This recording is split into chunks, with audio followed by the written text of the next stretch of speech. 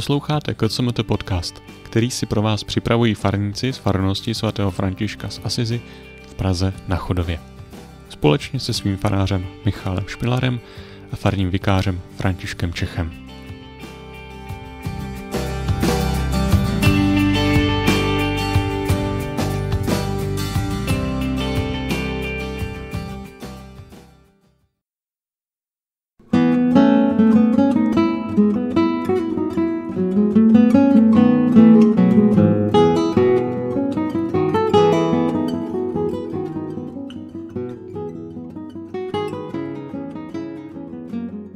Kdo doufají v hospodina, jsou jako hora Sion.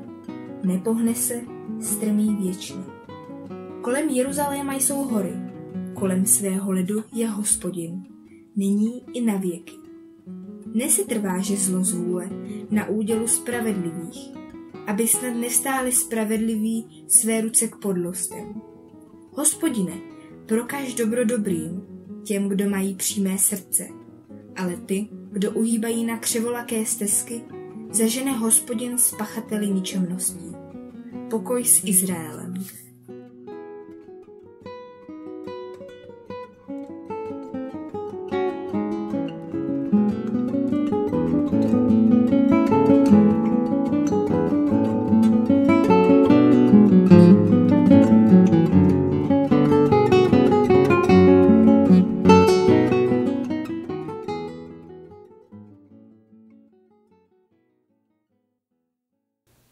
Ústředním motivem 125.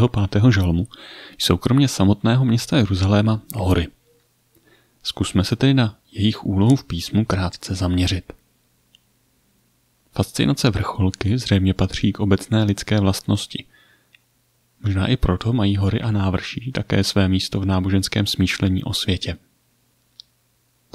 V Bibli v písmu je hora stejně jako vše ostatní součástí božího stvoření.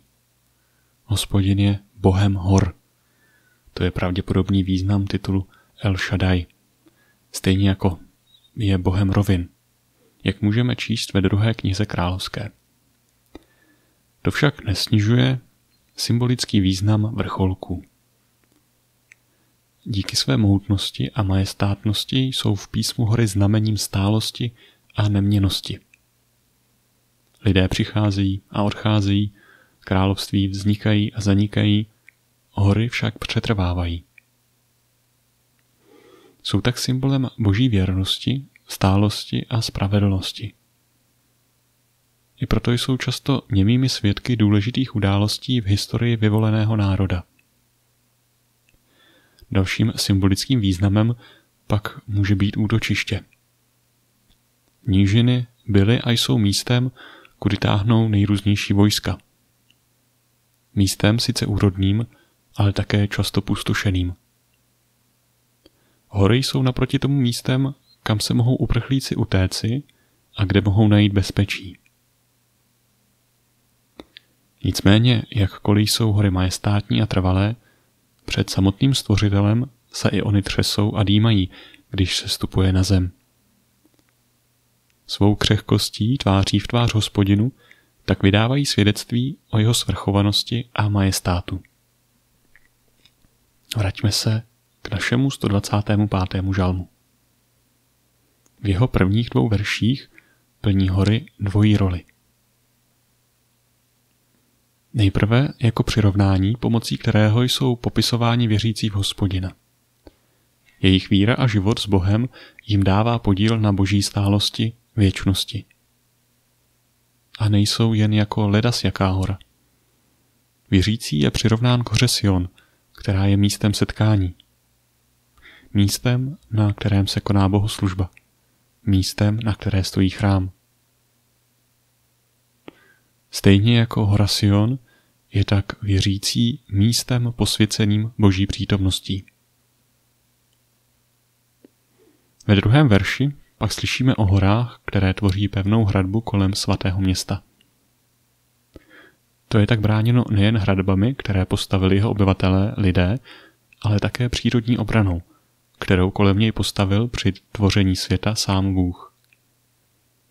Tento geografický detail pak pomáhá s výkladem pro životy nás lidí, Stejně jako se Bůh postaral o obranu svatého města pomocí hor, stará se a pečuje o obranu svých věřících. I na ně totiž, stejně jako na horské štíty, doléhají nejrůznější bouře a protivenství. Může se nad nimi dokonce vyvýšit nespravedlivý vládce, že zlo zvůle, jak jsme slyšeli v žalmu. A jeho autor si je vědom lidské křehkosti, která nemusí i u spravedlivého vydržet a může způsobit, že on sám se přidá na stranu bezbožníků. Závěr žalmu proto patří prozbě, aby se hospodin projevoval ve své spravedlnosti.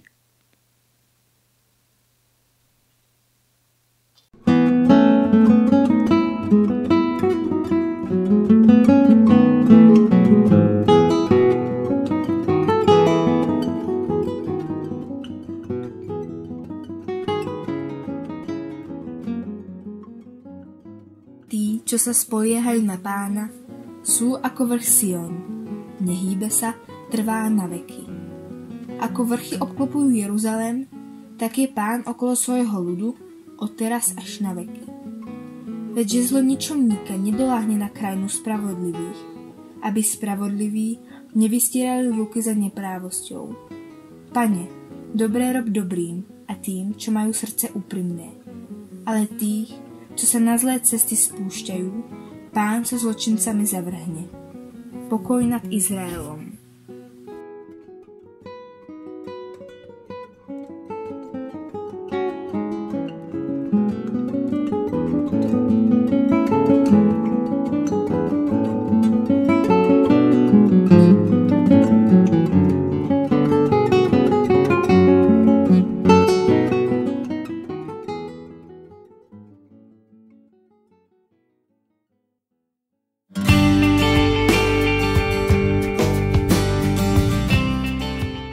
Děkujeme za společný čas a budeme se těšit opět na setkání.